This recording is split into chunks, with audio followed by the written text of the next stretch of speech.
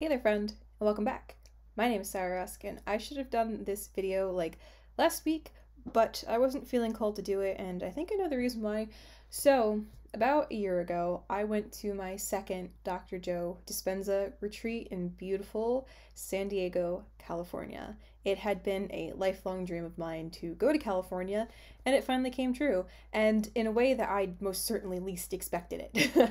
so, to kind of give a short, brief backstory, I went to my first Joe Dispenza retreat in Marco Island, Florida. Um, great event. I had a experience. I had energy run up the back of my spine, which I believe is a Kundalini awakening, and my life has not been the same since. Um, I worked at a horse farm for many years before going to this event, and then went to the event, and then came home and quit my job. I quit multiple jobs after that. So the fact that I was able to go to California within the same year, let alone a couple of months after, without knowing how I was going to get money to go, was a miracle in itself. And it was such an incredible experience. If you, friend, ever have the opportunity to go to two events, I can't recommend it enough. Like, I learned so much more than when I went the first time because, you know, I had done the intensive and progressive workshops. Those were amazing. I took way too many notes on them because I just enjoyed it so much. My life really changed after doing those courses, like, significantly changed, which is why I wanted to go to the actual event and be there in person. And being there in person, tuning my energy to just this amazing coherence energy really rocked and shook up my world. And I haven't stopped meditating. I in between I've taken breaks just because I had to recalibrate myself and I, you know, really can't go days without meditating because I can totally tell the difference when I have meditated versus when I have not. And I have learned a lot after being in the wild, so to speak, after going to these events. The events themselves are incredible. The first event that I went to in Marco Island, I did not come out really knowing very many people. Um, coming out of San Diego, I formed really strong bonds with a lot of people and I talked to a lot of them just about every single day. So if you go to one event and you find that you really didn't make that many friends, it's totally okay. I wasn't the right type of me to be able to attract you know, higher vibrational beings. I was still releasing and shedding some stuff. And I just, it wasn't the space for me to make friends, you know, the way that I was. Now, coming out of San Diego, because I have shifted and changed and purged and let go of a lot of parts of myself, I came out of there with a lot of friends. And even if you go to a third or a fourth and you haven't been able to make specific connections, that's totally okay. You know, go to just keep empowering and uplifting yourself to help get you to the next level. I left San Diego feeling so high and like my heart was just blasting open. I remember being in the plane, you know, however many, you know, 40,000, 50,000 feet in the air, and just feeling so much love for just everything, feeling so excited. I remember my computer screen in front of me on the plane wasn't working, and I kept sending it love, and I eventually got it to work. And then I got home, took a super quick nap, and then went and ran the fastest mile of my life because I was just feeling so like over the top excited. It was very odd. And then I crashed immediately afterwards, like a week later. It was not sustainable. However, I have been able to sustain that coherence feeling now, but it took me some time to get there. It took a lot of meeting new people, losing these people, having old people come back and then realizing, wow, I have come so far with this work. It took a lot of trial and error for myself.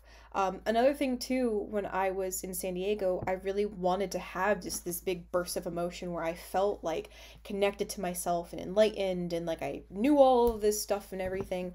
Um, I was able to kind of tap into specific parts of that when I was there, but coming home and being back in my everyday environment, I lost touch of it because I have just all of this stimuli happening around me. I took a lot of time to soul search and really asking bigger questions of, you know, who am I? What's my biggest bigger purpose of being here like what am i here to do and to contribute to the world? Um, going into both marco island and san diego it was a little more egotistical based such as you know how can i grow my youtube channel? Though i will say i came out of san diego having over 100 subscribers which was really fantastic. And also thanks to my friend algis who just told everybody about me, which I appreciated. Um, but it really wasn't until I want to say the last three months that I've been seeing like the work working, just having all these different emotions and things start to come up. And when I was in San Diego, I I wasn't able to break through that barrier that's been just around my chest. I remember coming home and talking a lot about the pain that I had in my chest. And it's emotions that and layers that just needed to come up and then finally came out. I released a big one on Saturday in a meditation and Dr. Joe says that there's no such thing as a bad meditation and there is no bad meditation. It was a very challenging meditation, but something that had been stuck within me was finally able to come up and I was able to finally release it. But that took months and months and months and a year uh, worth of meditating to finally get to that point. And finally being able to filter out the chatter and to finally start to listen to the voice that's in my head. You know, the the voice, the connected voice, the flow. You know, I've learned recently that it's like a feedback system. Like I know we know that like we think things and then the universe hears it and everything. Um Nassim Haramein did a really great talk with Lewis Howes and he explained how it's like a feedback loop and the energy that we keep emitting and putting out is what's going to keep coming back. So the more energy of saying that we we're good we're supported we got this we're healthy and such the more that's going to come back to us. Obviously dr joe goes in and talks more in depth about all this stuff as well but it's just really refreshing hearing it from different perspectives also. That's the other thing too is being able to understand these concepts and ideas having it go, gone through it again and then giving it time afterwards also i'm understanding things that i thought i understood but i actually understand them better because i got to live through them. So if you are in the midst of doing all of this work you've been to a couple of retreats and you're just like everything feels like it's getting worse or i'm not understanding it you are exactly where you're supposed to be. If things are going great that's awesome that's that's fantastic. I'd be a little concerned. Just wait.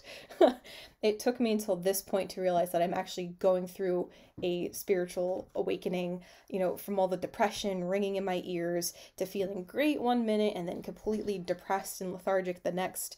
Lots of just ups and downs, but being able to sit in meditation has been just such a saving grace for me because I'm able to tune myself to the higher frequencies. And that's just all the layers being shed from my body. And it's a process. And it's a process that's totally worth it. And another thing, too, is the out of body experiences and the mystical experiences have been a lot. There's been a lot since I had gotten back from San Diego. I didn't have any between Marco Island and San Diego, and then I started having more after San Diego just because I really just found a new appreciation and love for the work after going through the work again for a second time for seven days, which was amazing. And again, if you could do it, totally recommend it. And then absolutely go to an advanced follow up because those are really awesome. And I will be talking about the advanced follow up when we hit August because that was a point where I was really starting to like get the ball rolling within myself and not feel high, but instead feel like this energy was sustainable. It's been a really awesome journey. And I really think at this point right now, the most important thing that I have learned is that I need to start connecting with myself. I was fighting it for this for literally the entire year up until probably about 2 weeks ago. I had been fighting myself with trying to understand myself. I put everybody else first before me because I thought that's what I had to do. But now I'm learning to take the time to sit and really hear me, connect to me. Because when I'm able to connect to myself, that's when I'm able to hear, you know, the voice of God, the voice of the universe and such, to be able to put me in the path, in the direction of where I'm supposed to go to help serve and to help others. So, so that's my whole spiel for going to a second Joe Dispenza retreat. It's completely life changing so worth it. And the experiences a year later, it's just, it's getting harder, but better and better.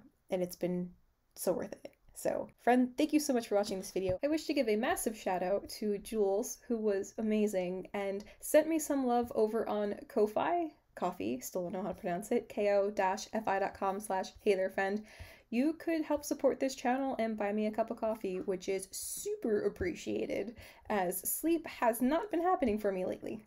So I get work done and read in between. And if you wouldn't mind hitting that subscribe button, I've gained a couple of subscribers. Uh, my video yesterday, like, has over like 140 something views already. Wow, hi everybody. It's so nice to meet you. Thank you for being here. Um, if you're watching this in the morning, I'm going to be doing a live at 11 a.m. Come say hello. It would be great to meet you and see you 11 a.m. Eastern Standard Time. I'm on the East Coast, unfortunately. Soon to be on the West Coast. Um, and yeah, remember, you're the most important person in the entire universe. And just promise me you'll keep singing. Okay, friend?